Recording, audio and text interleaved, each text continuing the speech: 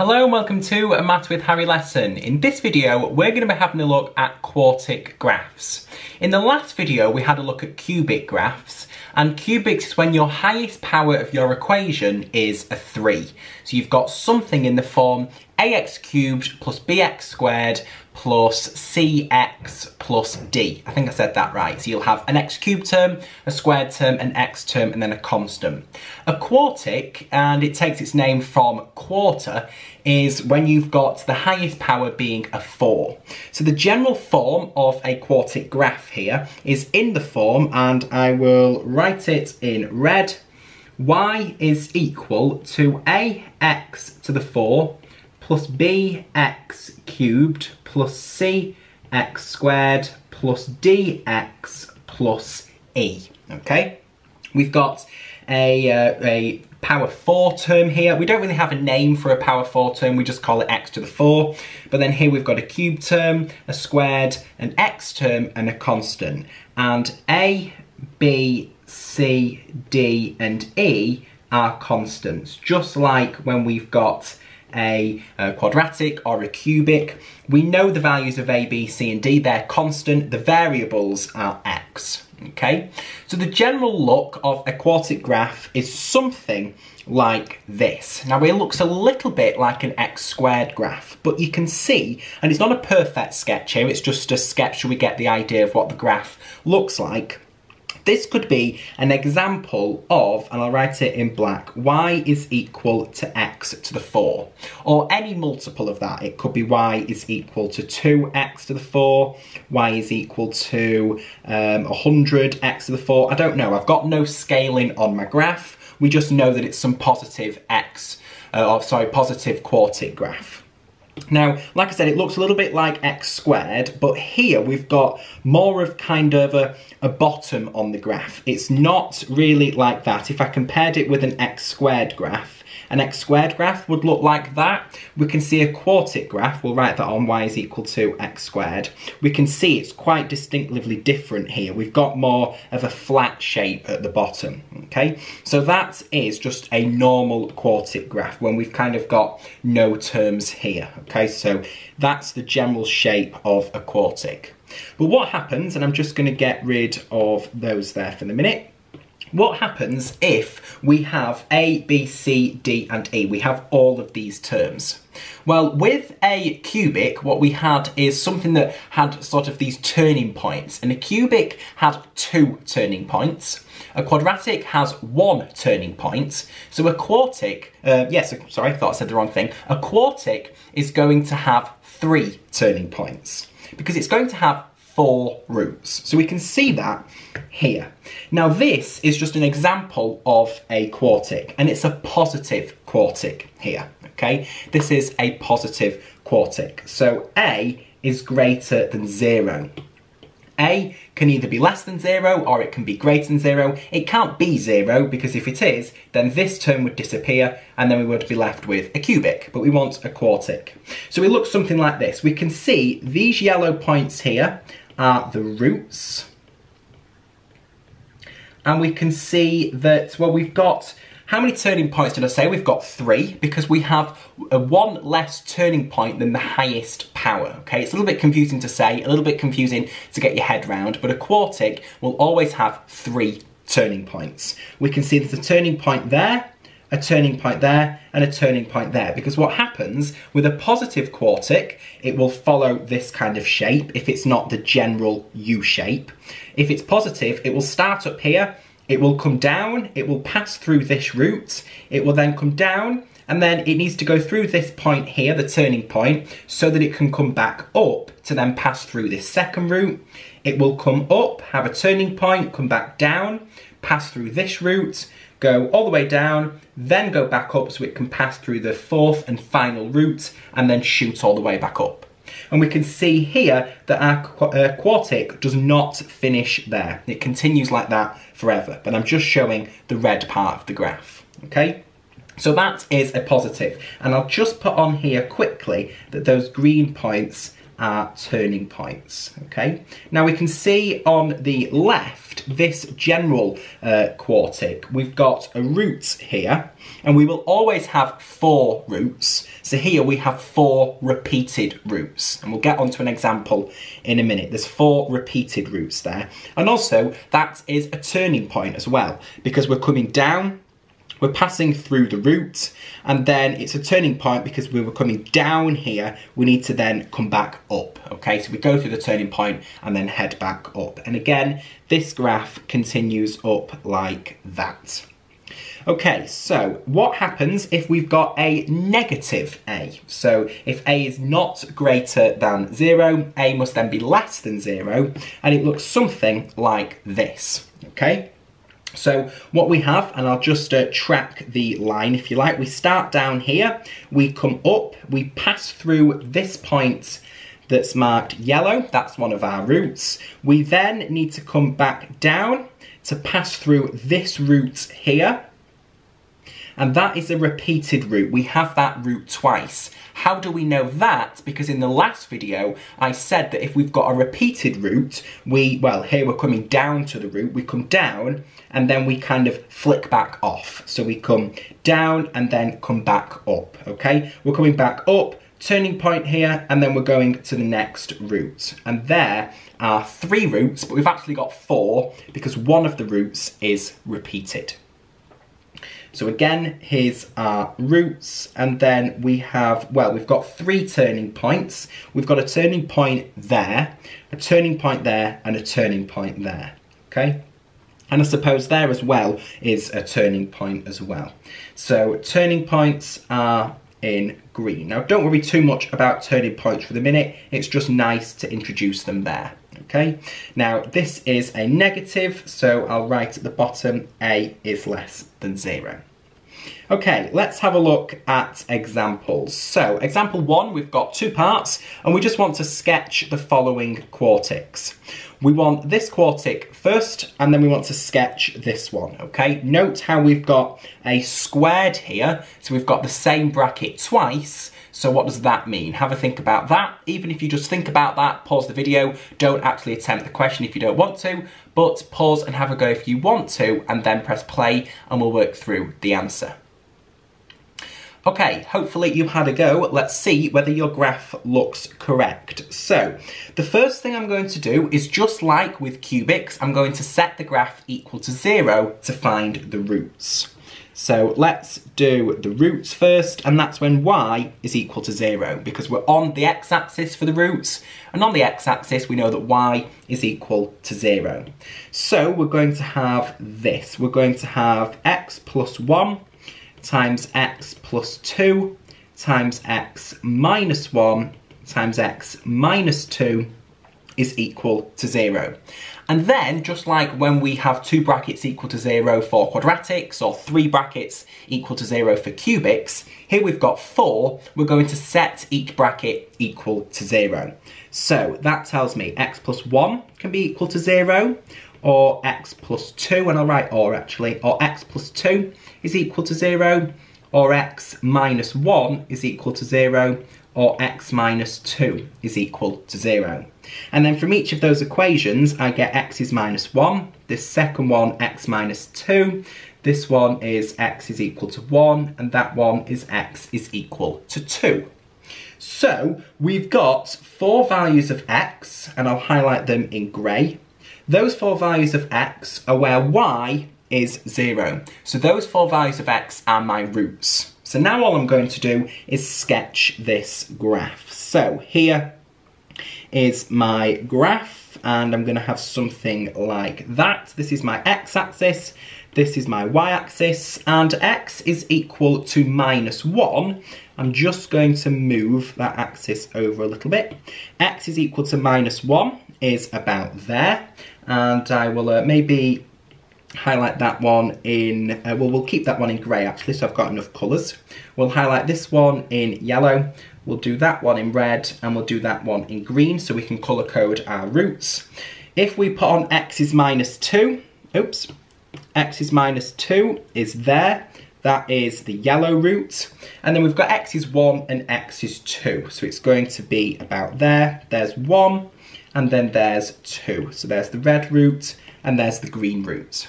And now all we need to think is, well, is A positive or is A negative? We can see that I expand these four brackets to get something in the form ax to the 4, bx cubed, uh, cx squared plus dx plus e. And if I expand that, I'm going to get my uh, x to the 4 term by multiplying all of these x's together.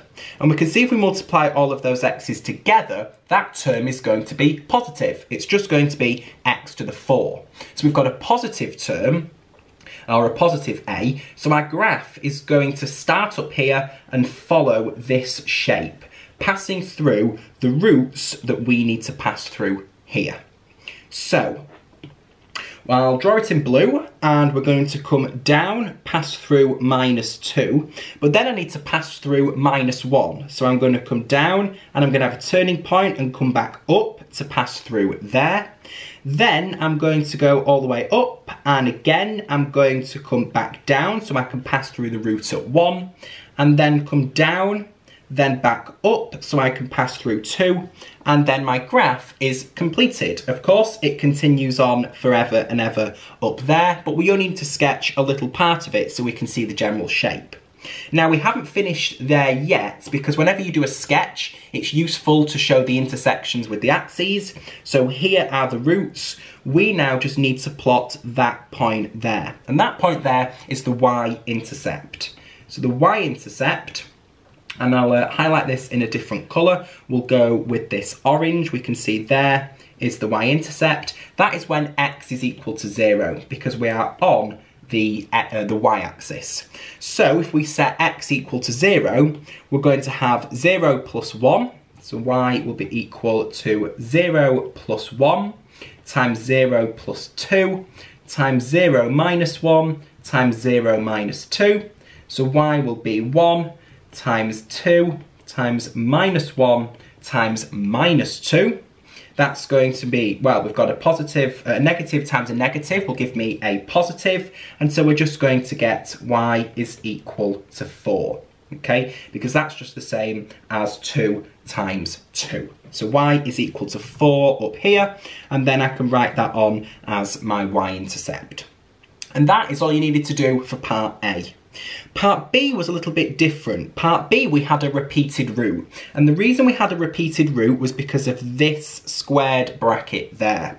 What that is really saying is x times x plus 2 times x plus 2 times 3 minus x. And be careful with that bracket there. When you set that bracket equal to 0, you're going to get x is equal to 3. So if we do that, if we set uh, the whole equation equal to zero, each bracket can be equal to zero. So we'll get x is equal to zero, x is equal to minus two, again, x is equal to minus two, or x is equal to three. This comes from that bracket equal to zero, which is just x equals zero. This comes from that bracket is equal to zero. This comes from that bracket equal to zero, and then that comes from that bracket equal to zero. So these are my roots. Because what we did is we said here, y is equal to zero, make that look more like an arrow. There, y was equal to zero, and then we got four values of x for where y is equal to zero. And when y is equal to zero, we are on the x-axis. And so these are the four roots. So let's sketch what that's going to look like. We're going to have a graph that looks something like this and I'm going to sketch my axes something like that. We can move them if we need to. And plotting on the four roots. We've got one root at zero. We've got another at minus two. We've got another at minus two. They're both at minus two there. And then we've got one at three. So it's going to be something like that. Maybe we'll move that three over a little bit. Okay, it's just a sketch, so it doesn't have to be perfect. So that root came from the grey one, that root came from the yellow and the red one, and then that root came from the green one, okay? So now all we need to think is, well, is my x going to be, or my a, sorry, the coefficient of the x to the 4, is that going to be positive or negative? So a less than 0, or is a going to be greater than 0? And that will help me determine where I start my graph, which shape is it going to have. Well, we can do that just by multiplying all of the x's together. We can see here that my x to the 4 term is going to come from multiplying x by x by x by minus x. And if you're unsure, multiply all of these brackets out, get it into your general form here, and then see whether a is positive or negative. I can see here I've got negative x, so that is going to be the negative version of the graph. So it's going to follow this shape here. And we've got a repeated root, so it's going to look something like that. So returning back to the graph, we can see that we're going to have a negative shaped graph. So if we start down here, I need to, well, first of all, I need to think, where am I going to have my repeated root? I'm going to have it here. So what I'm going to do is I'm going to start, and then I'm not going to cross through that point there because it's a repeated root. So actually, maybe I should start my graph a little bit more like that. I'm going to have it crossing through that root, not going up. It needs to bounce back down. Then it's going to pass through that root, because that's just a root on its own. And then it's going to kind of come something like that, and then come back down so we can pass through that root, and then head off all the way down there. Okay, so we've got this shape. It's negative, so it's this kind of shape. We've got a repeated root here. Because of this squared, we had x equals minus 2 twice.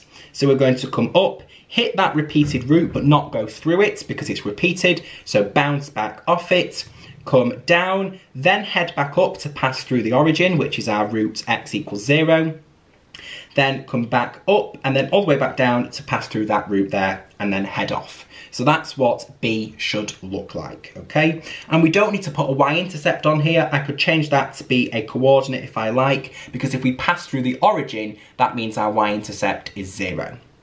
Okay, the final example for this question, we are told that we have got a graph of, well, it's just a general quartic graph here, and that's drawn below. And we can see, and I've missed off, oh no, we've not got an A here, it's just a one, so B, C, D, and E are real constants, okay? They're real constants. Don't worry too much about them being real, they're just numbers that we know, okay? Well, do we know them? We're actually being asked to find them, and we don't have an A here, so I can get rid of that. We're being asked to find the values of B, C, D and E. So in other words, we're being asked to find the coefficients of our x cubed term, our x squared, our x term and then our constant.